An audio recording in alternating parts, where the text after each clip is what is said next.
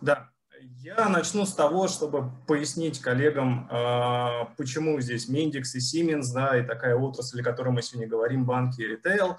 Да, то есть, а, может быть, вы уже слышали, что компания Mendix была довольно-таки самостоятельной компанией, а, в основном развивалась в европейских странах и в Америке, и буквально пару лет назад концерн Siemens приобрел компанию Mendix, да, кто основывается на low-code программирования и вот этой концепции.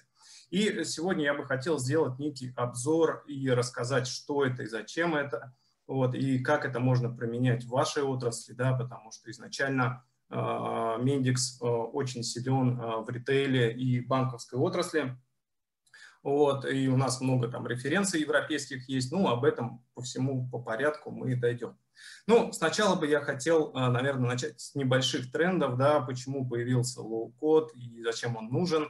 Э, тем более я знаю, что сейчас на российском рынке э, low-code тоже становится популярным, да, но бытует мнение такое, что, в принципе, low-code исключает профессиональных разработчиков. Сразу хочу сказать, что это не так, да, то есть здесь мы говорим о совокупных командах, до этого мы тоже дойдем. Но, э, опять же, по оценкам аналитиков того же Гартнера, э, он говорит о том, что к 2021 году уже э, вот эта кривая спроса на внутренние разработки приложений, приложений порталов, да, вот всяких коммуникационных таких вот вещей, да, будет расти более быстро, да, вот в пять раз быстрее, чем существующие есть возможности IT внутри компании, да, будь то банк или другая какая-нибудь компания. Да, и при этом, что потребности бизнеса, да, под бизнесом я понимаю э, различные бизнес-юниты внутри компании, да, будь то там HR, э, или там продажи, или там отдельные департаменты ответственные за какие-то конкретные продукты, да, и все они обращаются в IT-департамент со своими запросами на разработку тех или иных приложений или порталов или каких-то решений, которые им необходимо. И, э, в принципе, эта проблематика э, сохраняется не только, я думаю, в России, но и во всем мире. Вот. И э, проблема в том, что IT-возможности не такие большие, чтобы обеспечить весь спрос да, на IT-ресурсы, которые требуются от бизнес-юнитов. И здесь как раз вот появляется решение Mendix, которое говорит о том, что мы можем компенсировать вот этот вот зазор недостатка ресурсов IT-подразделения. При этом, если посмотреть сегодняшнюю ситуацию с разработкой приложений или каких-то IT-решений, да, то есть, опять же, а, сухие цифры статистики говорят о том, что 70% цифровых проектов да, не оправдывают ожиданий. Да, то есть они как бы начинаются, вводятся в эксплуатацию, да, и потом понимают, что они не так релевантны, как изначально было задумано. При этом тоже очень интересно, что э, порядка, наверное, 60%, э, которые проекты начинаются цифровые, да, то есть э, начинают переделывать да, и модернизировать как-то в момент тестирования. При этом 75%, э, что тоже интересно, проблематика заключается в том, что отсутствует коммуникация между бизнесом и IT. Да, вот я здесь вот провел такую интересную картинку из интернета, да, которая как раз показывает, как зачастую это действительно бывает. Я думаю, не только в сфере разработки, но и в любом э, другом сервисе, где есть заказчик, там, архитекторы и исполнители. Да. Вопрос, как поставить ТЗ, то, что хотел заказчик, и то, что получилось в итоге. Да, и это вот основная как раз проблематика о том, что бизнес-заказчик и исполнитель-программист, они говорят на разных языках, да, и видят разные э, э картинки. Конечно же, пытаются это нивелировать с помощью более детального там, технического задания, технических требований, да, но факты говорят сами за себя, и при этом эта э, тенденция сохраняется по всему миру.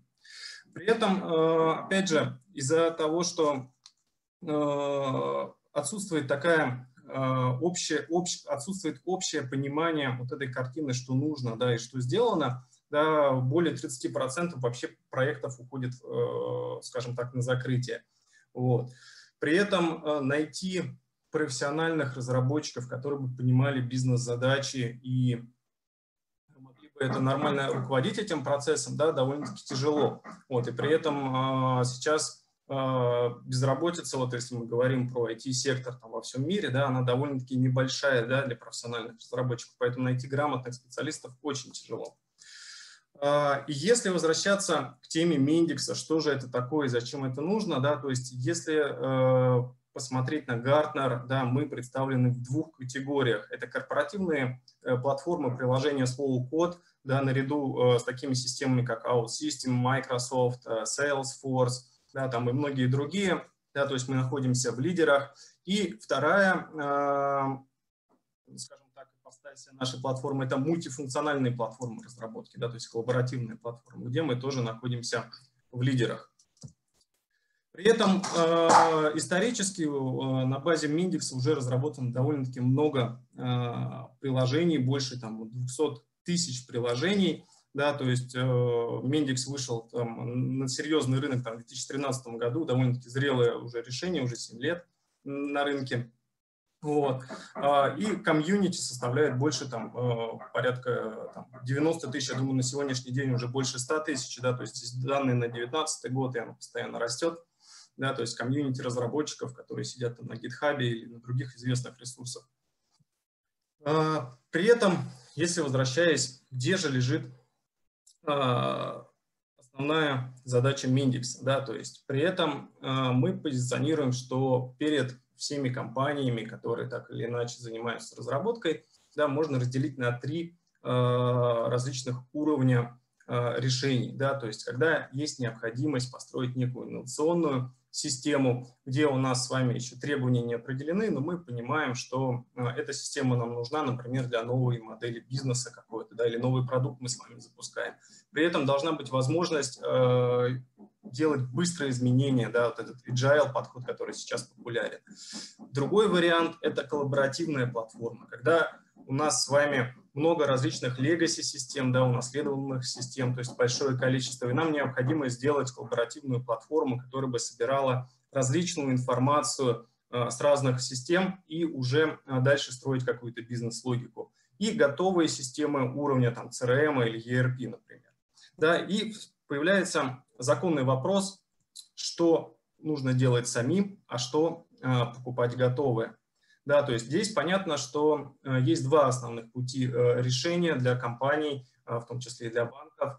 У кого развитая система IT, система разработчиков, да, то есть они могут это делать, в принципе, самостоятельно, вот, или отдавать на аутсорс, да, сторонним компаниям, партнерам, вот. Но при этом Э, наша позиция заключается в том, что если мы говорим о конкретной задаче, например, э, уровня ERP-системы или CRM-системы, да, то здесь лучше э, купить, скажем так, готовую систему у вендора и производить ее внедрение. Но сейчас тенденция в мире разработки говорит о том, что существует некая потребность создания вот этих эко-платформ, о которых мы сегодня уже, я слышал, коллеги говорили, да, инновационных каких-то платформ. И вот здесь как раз вот и лежит основная идея Мендикса, применимости его. Да? И э, мы выделяем, наверное, три основных подхода, э, я думаю, всем известных. Это решения, которые готовы к использованию да, при разработке, то есть, по сути, это некий конструктор. Э, это модульное повторное использование, да, то есть, когда пишутся готовые модули и могут их использовать в различных э, частях там, приложений. Ну и классический подход индивидуальной разработки, да, то есть классика там на Java, Python или еще на чем-то, да, когда сидит отдел разработчиков и э, ходит конкретное решение. Да, то есть, исходя я вот три, наверное, основных таких подхода, если общими мазками их э, обозначить. При этом концепция разработки Mindex э, заключается в том, что мы э, расширяем э, ответственность разработки да, от профессиональных разработчиков и э, соединяем их в единую команду с непрофессиональными разработчиками.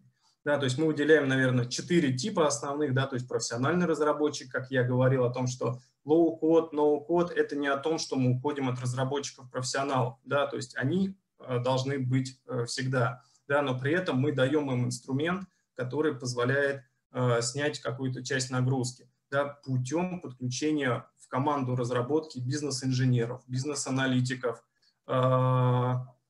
непрофессиональных разработчиков, как мы их называем, citizen developer. При этом а, Mindex позволяет работать в команде да, всем вот этим типам разработчиков одновременно.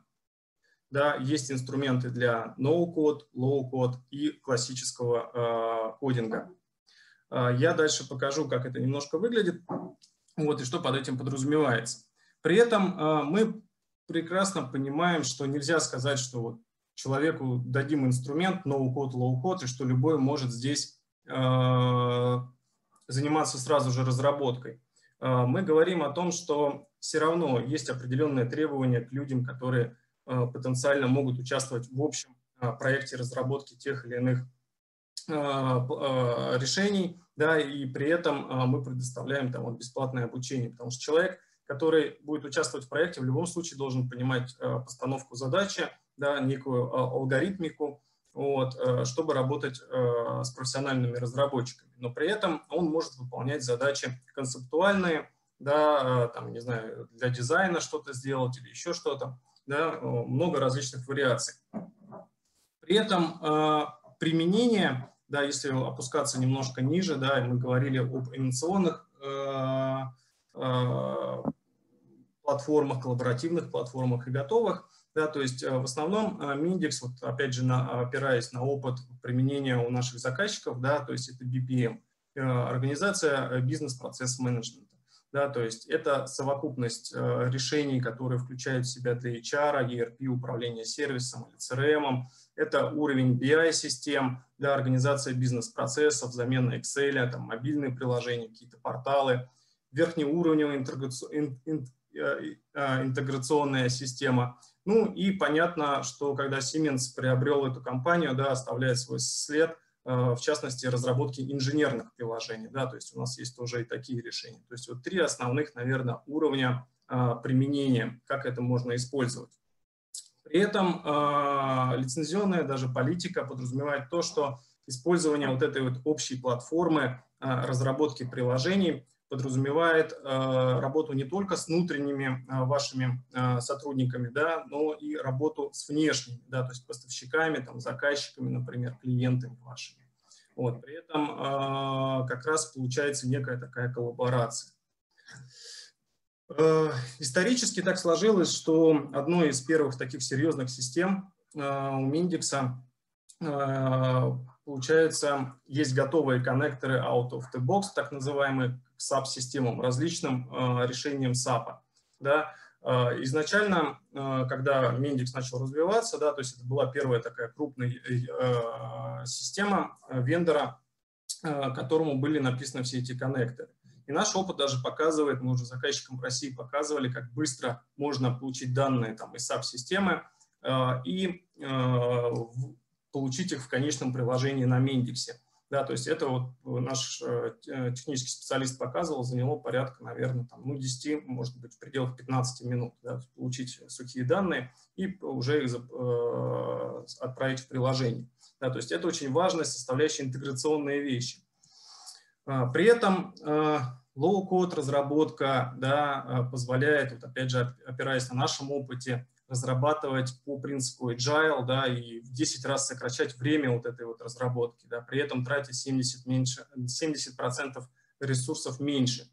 А, касательно мультиплатформенности, конечно, да, это а, и планшеты, это и э, мобильные какие-то устройства, смартфоны, это и компьютеры, да, то есть разрабатывая единожды приложение, оно может разворачиваться на любом устройстве под э, операционную систему Android, там, iOS, э, Linux там, и Windows. Вот. Касательно интеграционных данных, да, то есть это одна из фишек тоже Mendix, что очень много бесплатных коннекторов, которые вы можете бесплатно использовать в своих проектах, вот, то есть подключая различные legacy системы. Касательно безопасности э, и инфраструктуры разворачивания, да, то есть э, изначально Mendix базируется на Amazon Web Services, да, то есть облачные технологии, вот, но при этом э, есть возможность использовать локального разворачивания на архитектуре заказчиков, да, то есть полностью он премис. Вот это тоже очень важно и, мне кажется, релевантно для России и, в принципе, для заказчиков других регионов, да, где Mendix используется on-premise. Но при этом у нас есть и полностью облачное решение, и гибридное э, облако использования, и э, локального полного размещения. Очень тоже важный фактор, на который я обычно акцентирую внимание, это разработка приложений э, для мобильных устройств. Да, то есть у нас используется концепция нативные мобильные приложения, да, то есть по сути, которые позволяют взаимодействовать с аппаратными, э, аппаратными э, устройствами, где оно развернуто, да, то есть использовать там камеры, GPS-приемники, биометрические датчики, к примеру, для там, аутентификации пользователя, да, там, или еще что-то, отслеживание его позиции, чтобы показать, где ближе находится, например, тот же банкомат там, или офис а, заказчиков. Вот.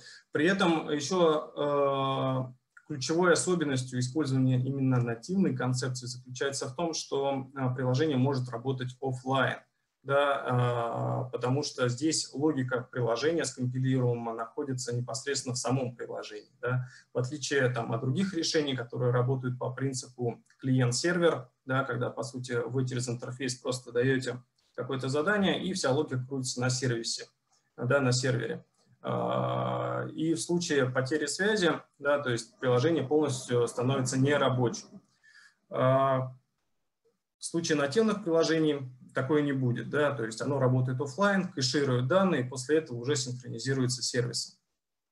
Касательно клиентской базы э, по миру нашего, да, вы можете здесь увидеть и финансовые сервисы, различные банки, страховые компании, ритейл, производство и бизнес, да, и много-многое другое. Вот я немножко укрепненно хотел бы здесь показать, да, то есть здесь и банковская отрасль, и BDC банк, э, да, мы более подробно там посмотрим э, в конце вот моей презентации.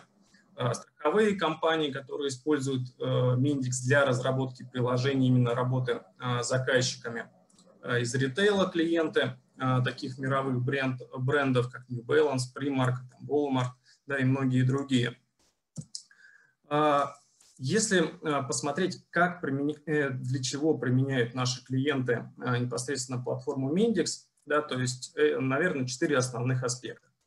Это быстрый запуск новых продуктов и бизнес-идей, как я говорил, да, то есть здесь подходит agile модель, цифровое взаимодействие с клиентами, там опросы или еще что-то, да, через приложение мобильное, повышение эффективности работы, здесь классический BPM подход – ну и модернизация основных э, систем, да, legacy систем, скажем так, когда понимают, что их уже недостаточно и нужно принять решение, или мы покупаем готовое новое решение, или же мы сами адаптируем э, это решение, которое у нас есть, как раз с помощью Мендикса.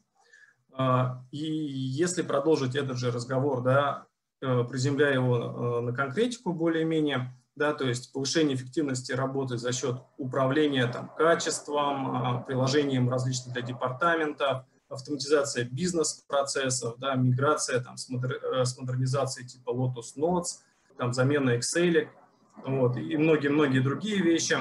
А, приложения для взаимодействия с клиентами – это B2B порталы, B2C порталы, да, и, соответственно же, здесь параллель идет э, и мобильные приложения, да, и порталы, как я говорил, что это все в одном. Ну и инновационные приложения, да, типа IoT, искусственного интеллекта, машинного лернинга, да, то есть тут э, различные возможности, зависящие от полета фантазии и потребностей бизнеса. По сути, как выглядит low-code, no-code, да, то есть здесь подразумевается, что логика приложения строится из кубиков, Э, да, квадратиков, треугольничков, да, когда человек понимает э, процесс, который он хочет э, сделать, некий алгоритм, набирает это из уже готовой библиотеки, составляет приложение, делает некий макет страницы из шаблона, например, если шаблона недостаточно, он может сделать собственный шаблон, да, или здесь вот как раз вот используются профессиональные разработчики, которые могут разработать полностью Э, свою архитектуру, да, вот этого шаблона, а, макета, вот, который будет в корпоративном стиле, там, например, или там корпоративными какими-то решениями использоваться. И в конце уже получается некое приложение. При этом мы понимаем, что мы говорим в основном сейчас о инструменте именно разработки, но при этом Mindex и включает другие аспекты. Да, то есть это и управление разработкой, это уровень тестирования, да, в принципе, мы используем э, open source решения, да, у нас есть открытый IP, потому что я думаю, что у большинства заказчиков так или иначе есть некое решение для э, тестировки э, программного обеспечения, которое можно прикрутить через открытый IP к Mendix. Различные варианты развертывания, да, то есть, как я говорил, там Amazon Web Services, Cloud Foundry, да, и многие другие – и э, еще инструменты отслеживания использования этих приложений, да, то есть качество во время эксплуатации.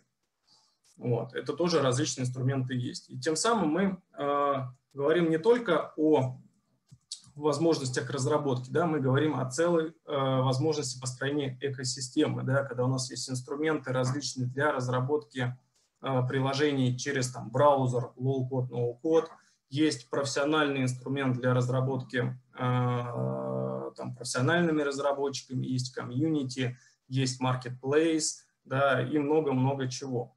Вот. При этом очень много готовых коннекторов, о которых э, я говорил. К сожалению, время ограничено, поэтому э, я не могу углубляться в какие-то детали, да, то есть если будет интересно посмотреть, вы можете там зайти на сайт или ко мне обратиться, я вам об этом расскажу. Вот. А, последнее, наверное, о чем а, перед тем, как я хотел показать несколько наших референций, хотел остановиться, да, это непосредственно а, магазин компонентов, да, или он же marketplace, да, где есть уже готовые вот эти модули, которые можно интегрировать в ваш проект, они там 99% бесплатные, импорты там с Excel, например, там, да, загрузка там в какую-то базу данных, да, то есть много чего. А, при этом вся открытая документация находится а, в свободном доступе, да, то есть мы ничего не скрываем, форумы, комьюнити, все-все а, в свободном доступе. Еще что хотел бы сказать, что в принципе лицензионная политика Миндекса заключается в том, что любой желающий может его скачать, начать разрабатывать, начать тестировать. И вопрос там про деньги, как обычно он всегда возникает, находится только на этапе ввода в эксплуатацию, да, когда мы уже понимаем, что вы что-то попробовали, поняли, что для вас это релевантно, да, и можете э, там, аргументировать перед руководством, что вам это нужно. Это как раз вот такая вот модель э, Мендикса, да, то есть для всех желающих можно прямо сейчас пройти, зарегистрироваться и посмотреть, как это работает. Касательно наших референций, да, то есть, э, например, э, Робобанк, да, то есть построил некий банковский портал, как раз а, для почти полмиллиона клиентов, да, то есть э, архитектура Мендикса довольно-таки гибкая и масштабируемая, как горизонтально, так и вертикально, которая позволяет как раз вот стоить такие вот вещи. Вот. BDC банка, который я уже упоминал, да, то есть здесь у них такая а, была интересная а, история, что они много-много вкладывали а, в проект и много денег вложили, вот, и он в итоге не был результативен, перешли они на Midix и за 8 месяцев добились того результата, которого хотели изначально. Ну, э, страховая компания, э, которая использует там Mendix, э, тоже э, уже построила более 10 приложений, да, то есть как раз для работы взаимодействия с клиентами, автоматизации бизнес-процессов страхования. То есть там э, интересный кейс был, когда по фотографии он оценивает там риски э, и дает какой-то процент для страхования, да, то есть есть такое, э, это уже больше из промышленного э, сектора, ConocoPhillips, э, компания, которая входит в Fortune 500, вот, довольно-таки крупная, она тоже перешла на Mendix, вот, причем с точки зрения именно корпоративной платформы. Ну, в разных ипостасях можно его использовать, да, разные индустрии, от городских, скажем так, индустрий, управления городом, а, взаимодействия с жителями, банковский сектор, как говорил, ритейл, много различных а, вариантов использования. А, при этом я, наверное, хотел бы закончить. Если будут какие-то вопросы, я готов на них ответить. Вот. И если у вас появился какой-то интерес, вы можете прямо сейчас зайти на сайт Миндекс и посмотреть, что это, с чем едят, и больше от вас ничего, в принципе, не требуется. Там сайт довольно-таки информативный. Коллеги, спасибо. Если есть какие-то вопросы, я готов на них ответить.